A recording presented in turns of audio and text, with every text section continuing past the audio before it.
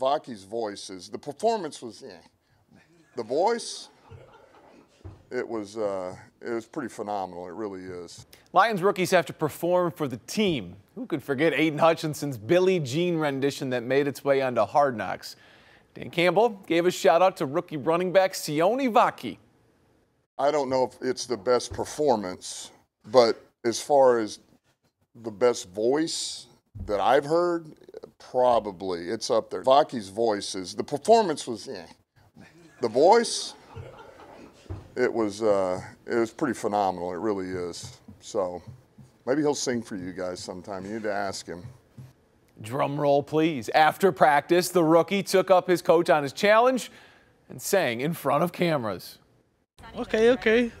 Yeah. yeah I got you. I got you. I'll do a little something.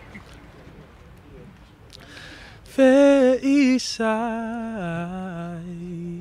by thy side will stand and always praise thy name.